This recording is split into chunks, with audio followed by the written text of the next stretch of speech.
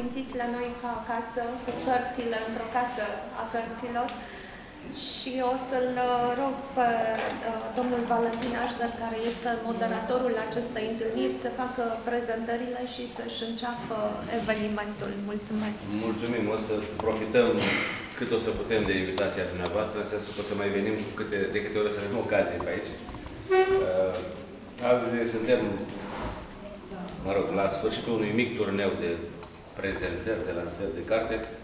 Am început alaltă de la Sibiu, ieri un pic la Lugoj, ca să pun accentul bine cum a învățat domnul Georgian, și azi la Timișoara. Uh, Mă rog, aici avem 5 cărți, în spate încă vreo 80 din noutățile, știu, apărute în urmă cu 2, 3, maxim 4 luni, cam așa. Începem uh, să începem, să începem cu Marius Vasileanu.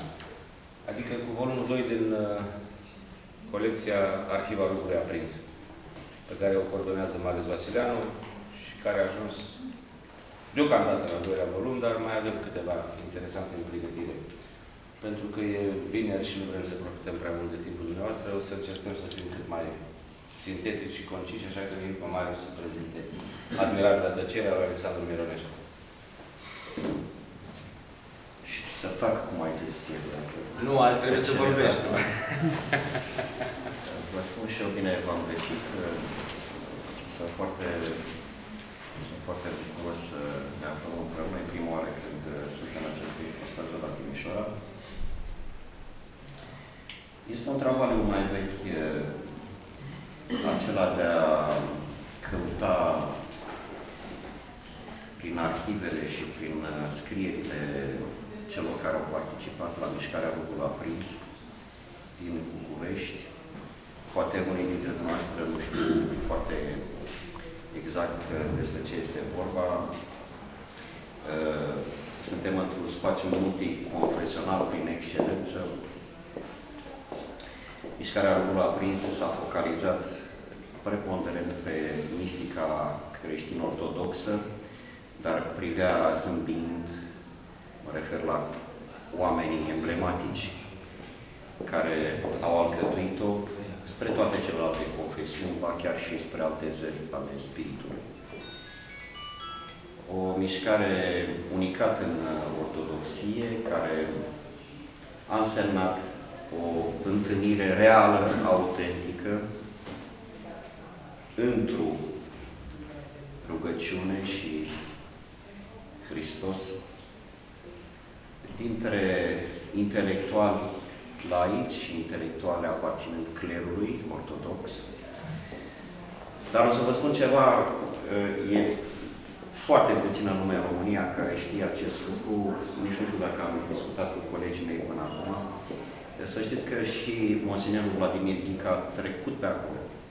A avut o, pregătesc un studiu pe această temă, sunt în uh, căutarea mai multor uh, informații. Există undeva în uh, arhiva Monsignorului Ghica această confesiune, faptul că s-a întâlnit, a fost dus acolo, a avut o mică polemică cu Sandu Tudor, ulterior s-au întâlnit, au discutat uh, prietenește și iată că rugul aprins înseamnă mult mai mult decât o mișcare pur și simplu ortodoxă. Întâi de toate înseamnă mult mai mult prin uh, deschiderea către marea cultură, către știință, către valorile culturale esențiale. De ce? Fiindcă amintesc doar câteva mari personaje ale rugului aprins. Poetul, scriitorul, publicistul Sandu Tudor, pseudonimul lui Alexandru Mironescu, un poet pe care ar merita să-l reedităm și să-l aprofundăm, fiindcă cel puțin în, în poezia sa religioasă este foarte interesant. Și hai să merg tot cu poeții, Paul Sterian, un om extraordinar de interesant, o, cu o deschidere enciclopedică, ca și prietenul său de suflet, Mircea Vulcanescu, Mircea Bucănescu n-a făcut parte din grupul aprins, nici nu se putea fi că a fost arestat. Dar există niște mărturii care au trecut pe acolo, măcar ca audient, în pofida unei rupturi petrecute între el și Sandu Tudor, cu niște ani în urmă. Uh, alt poet, evident, Vasile Voiculescu. Au fost acolo matematicieni, au fost uh, filozofi, precum Alexandru Dumitriu, Marele Logician, au fost uh, critici de artă și specialiști în istoria culturii, precum Ion Marin Sadoveanu, Alexandru Duțu,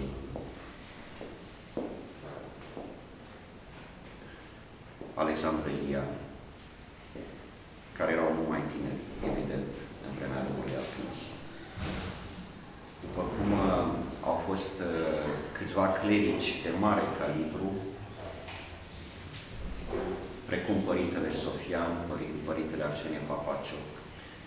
Însă și starețul Mănăstirii Antin, unde se petreceau aceste întâlniri, uh, Părintele Vasile Vasilachi, pregătim în curând un al treilea volum din această serie. Primul volum a constat într-o selecție din publicistica lui Sandu Tudor, vom continua și cu aceasta. Al doilea volum este acesta, jurnalul lui Alexandru Mironescu. Un al treilea, poate al patrulea volum, o să vedem care e gata mai repede, va fi un uh, volum de mărturisire a starețului Vasile Vasilache, om cu doctorat în teologie, un om foarte interesant. Fratele său de sânge, călugăr tot acolo la Antina, și el teolog, Haralambi, a murit în închisoare. Uh, mulți alți teologi au fost acolo, au fost compozitori, Paul Constantinescu și așa mai departe. Stăniloae este o discuție întreagă dacă este sau a fost sau nu a fost la rândul aprins. Cert este că a participat uh, și chiar dacă familia sa susține că nu ar fi fost un membru al grupului aprins, după cum și el a, a zis asta la un moment dat, eu consider că în realitate poate fi considerat, nu neapărat printre membrii săi emblematici, dar în orice caz uh, printre personajele importante care au trecut acolo.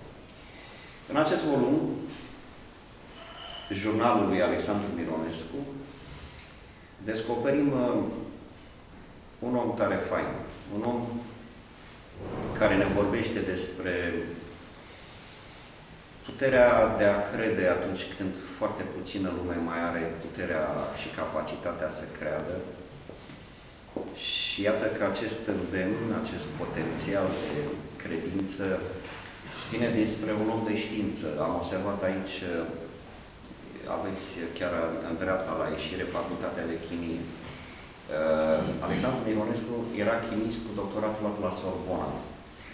Este undeva uh, la început, am, am amintit aici, fiindcă sună foarte, foarte straniu. Uh, este foarte straniu pentru, pentru ignoranți, cum sunt și eu, între ale chimiei. Iată teza lui de doctorat sur l'action des organes magnésiens sur le furfurol et l'éther pyromuzică.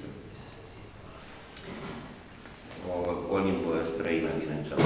Alexandru Mironescu, care a, a avut uh, cercetări recunoscute pe plan internațional în domeniul chimiei, procedeu pentru obținerea hidrocarburilor aromatice și produse derivate prin pirogenarea unui amestec de hidrocarburi lichide, acest om a scris poeme filocalice. Acest om a avut și un doctorat în filozofie și a scris eseuri de, de filozofia științei, a scris romane, a scris proză foarte interesantă. Și în acest uh, jurnal, într-un fel, uh, ne îmbrățișează cu toate aceste teme la un loc, fiindcă face și notații asupra cercetărilor genetice și asupra ultimilor descoperiri științifice. Suntem, suntem în anul 67-68, împreună cu, probabil unii dintre dumneavoastră știu, ce scuze dacă mai amintesc, în 1958, bună parte din membrii grupului au prins, plus câțiva studenți care săraci doar l-au căutat pe Sandu Tudor sus pe Sandu Tudor între timp devenise călugăr. Părintele Daniel, au fost arestați chiar din casă de la Mironescu, Sandu Tudor, Alexandru Mironescu, asta se întâmpla în București, și fiul lui Mironescu Șerban, care tocmai terminase clasicele. Ei bine, uh, Sandu Tudor a murit precum un martir în uh, închisoare. I s-au imputat niște prostii, așa cum li s-a imputat tuturor. Acești oameni n-au avut de-a face cu legionarii. Asta, de obicei, uh, era una din șmecherile prin care erau acuzați, fiindcă pur și simplu avuseseră polemici aspre uh, cu mișcarea legionară și Sandu Tudor și Mironescu în presa intervenită. Uh, începând din 64, când a fost eliberat, uh, Alexandru Mironescu, evident, lucrează, are o activitate intelectuală particulară, abundentă, dar, în realitate, de prin 48 încoace, când mișcarea Rugului a prins, întâlnirile Rugului a prins, începute în 46, 45, 46, continuate oficial până în 48. În 48 au fost interzise. Ei se mai întâlneau în mod particular acasă la Minonescu, acasă la Olga Greceanu, o altă figură extraordinară. Uh, o femeie care avea permisiunea să țină predici în bisericii ortodoxe, ceea ce este rarisim. Ea fiind, uh, ea fiind uh, istorie, în primul rând iconar și, și om de artă. Ei bine, uh, întâlnirile aveau loc la arhitectul uh, Joja, la, la Minonescu acasă, între 48 și 58. Întâlniri mai puțin oficiale. Dar, de fapt, ce se întâmplau la aceste întâlniri și la timp și la ceilalți pe acasă? Uh, nu era numai un cenaclu. Erau și conferințe și noi pregătim acum într-un, pentru un volum viitor din această serie conferințele lui Sandu Tudor de la Rugul Aprins. Uh, nu era numai asta. Sigur că discutau pe anumite teme, dar factorul coagulant al acestui grup, intitulat Mișcarea Rugul Aprins al Maicii Domnului, era rugăciunea Isihasta.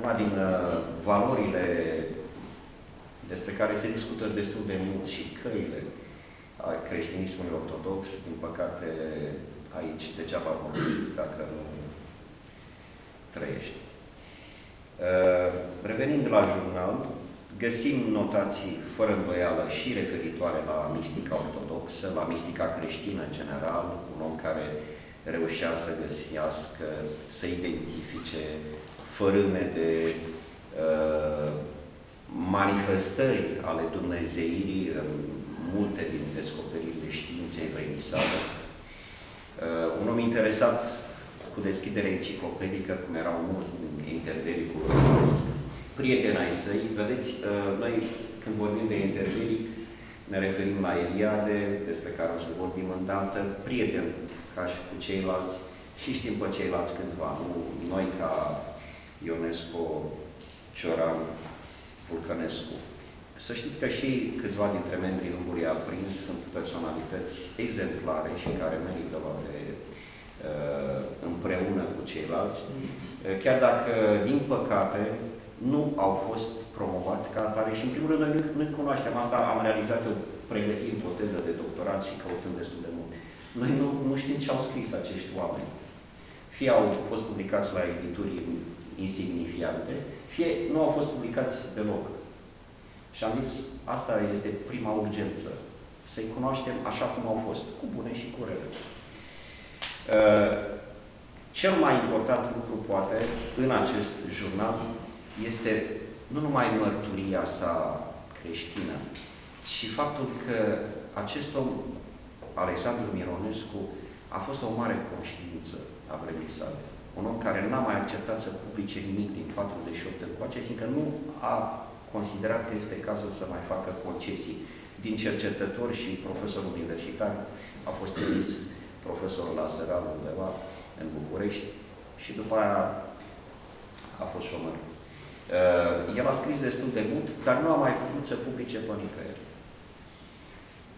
Dincolo de aceasta, un om care Să știți, cei care se ocupă cu căutarea spirituală autentică, de adevăratele, nu numai în mintea lor, aceștia sunt oameni foarte lucizi, nu pot fi păcăliți de jocul de oglinzi, jocurile de oglinzi ale acestei lumi. De pildă, suntem în 67-68, momentul vizitelui lui general de Gaulle în România, momentul mișcărilor studențești din uh, Franța și din alte câteva locuri. Și evident, uh, momentul primăverii de la Praga. Uh, Alexandru Mironescu, comparativ cu o pleiadă întreagă de intelectuali care au căzut ca muștele entuziasmați de ce se întâmplă la Praga, scria în acest jurnal un om care credea în renașterea rusească de factură mistică, ceea ce era destul de ciudat, să crezi în așa, ce, așa ceva în plin comunism. Asta credea acest om. Un om care primise o, hai să-i spunem, inițiere Hasmi de la un uh, uriaș călugăr rus care i-a vizitat a fugit, evident, de trupele rusești, a ajuns la Cernica și s-a întâlnit cu acești oameni, cu Sandu Tudor, Părintele Benedict și alți câțiva și a inițiat în isihasmul de cea mai autentică factură. Uh, Alexandru Mironescu spunea, acești oameni, chiar cei care făcuseră primăvara de la Praga, nu spun adevărul până la capăt.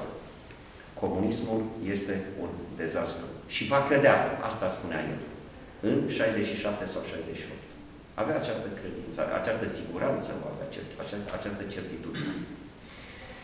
Sunt oameni rari pe care merită să-i studiem, sunt oameni exemplari. Este o imensă șansă ca ei să fie pe aceeași tarabă la intrare și Vulcănescu și Eliade și Mironescu și Țuțea, astfel încât uh, eu uh, Chiar mă bucur să fim împreună, indiferent de număr, nu numărul contează, ci uh, ceea ce ne unește și mai ales uh, zâmbetul care ar trebui să, să ne însoțească aprofundând, răsfoind viețile acestor oameni și opera lor. De ce? Fiindcă poate acum, la 25 de ani, după ce s-a petrecut uh, întâi de toate la dumneavoastră aici, unde a fost adevărata uh, uh, revoluție, la noi la București a fost revoluție. Uh, putem privi cu un zâmbet, nu, nu amar, ci un zâmbet pur și simplu senin, fiindcă întâi de toate eu personal vă mărturisesc că aprofundând viețile și operele acestor oameni minunați, mi-am dat seama de potențialul de bucurie. Potențialul de bucurie care există indiferent înspre ce zări ale sufletului privești. Mulțumesc!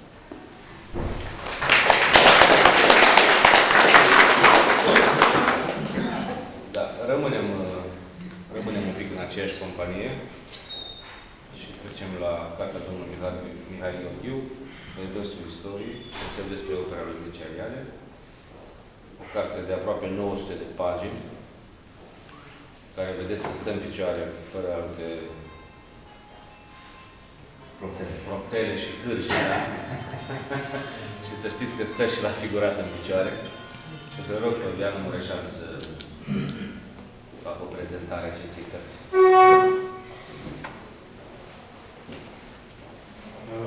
În primul rând, dați-mi voie să vă salut. Bună ziua, mă bucur să ne vedem. Cred că pentru toți cei de aici ne vedem și aș vrea să-mi explic poziția pe care eu o adopt când întâlnesc o astfel de carte, în instanță, după cum vedeți, monumentală. Uh, în urmă cu vreo 15 ani, când, când am la universitate la Cluj, spre filozofie eudaice, am, s-a întâmplat să ajung la o temă sau la o, o idee talmudică care m-a marcat în acel moment, putem spune, definitiv și care îmi servește în întâmpinarea celor mai multe cărți importante pe care de atunci încoace le-am citit. Această idee, am putea să rezum foarte simplu, e probabil centrul gândirii talmudice, centrul Torei evreiești. Ea spune așa ceva, înainte ca orice carte să fie scrisă, există o tora cerească, o carte nescrisă de mână omenească și care, de fapt, chiar cartea creației lumii. Ce importanță are asta pentru gândirea iudaică, pentru doctorii uh, Tore, de exemplu, pentru talmudiști? Fiecare exercițiu de lectură înseamnă convocarea întregii creații. Înseamnă a spune mintea să meargă împreună cu acele cuvinte scrise în Tora din totdeauna de Dumnezeu. Deci actul de a lectura nu este pur și simplu un moft cultural, nu este o dorință de informare, nu este un exercițiu pentru minte, nu este un antrenament al inteligenței, ci este un concurs pe care fiecare cititor îl dă lui Dumnezeu, operând cu mintea lui, care tot de la Dumnezeu vine, în întreaga creație a lumii. Practic, prin lectură, întreaga lume este alimentată spiritual. În consecință, acești maestri talmudiști făceau din lectură mai mult decât un ritual, făceau o formă de participare continuă și de lucrare împreună cu Dumnezeu la lume care se creează într-una. Cartea este așa ceva, un spirit diseminat, difuzat în întreaga creație, iar actul de lectură ne aduce împreună și ne face participanți în acest circuit al Cuvântului Sfânt, care este de fapt această toată. Eu am găsit în, să revin acum la obiectul nostru de discuție, eu am găsit de-a lungul anilor, studiindu-l pe Mircea Leade, am găsit o năzuință de a cuprinde cu mintea ceva care să aibă anvergura, consistența unei cărți în care întregul univers să fie reprezentat. În uh, Mircea Eliade, acest univers nu este reprezentat printr-o carte neapărat, este reprezentat printr-o altă figură. Figura tipică, cred că, este labirintul și care ne apropie mai mult de mitologia greacă decât de tradiția iudaică. Dar și în această figură a labirintului există ceva esențial care e bazat pe aceeași idee profundă, anume că este un sistem de semne diseminat în tot ceea ce uh, întâlnim noi în creație. Un sistem de semne, un labirint este o structură care conține semne, să ne gândim la Umberto Eco, de exemplu, la numele trandafirului. Conține semne, însă, dacă nu avem un ghid, dacă nu avem pe cineva care să ne, un hierofant, nu avem un însoțitor, s-ar putea să ne pierdem. Paradoxul acestei lumi culturale în care se mișcă Mircea Eliade este că, deși există un sistem extrem de elaborat și de complex de semne și întreaga creație la care noi referim și pe care mintea o reflectă, este un sistem de semne, totuși lipsește un ghid, suntem cumva derutați, suntem aproape pierduți. Uh, eu uh, aș aplica figura care e specifică lui Mircea Eliade, labirintul aș aplica propriei opere. Și mă gândesc că, cum mi s-a întâmplat mie, se întâmplă multor cititori, cel puțin în primele, la primele contacte cu operele Eliade, să trăiască oarecare derut, oarecare, un oarecare sentiment de uh, orbecheală, de năucire. Nu știi exact unde vrea să te ducă și, de fapt, la sfârșitul drumului ce vrea să-ți spună în brațe, ce vrea să-ți uh, pună în minte.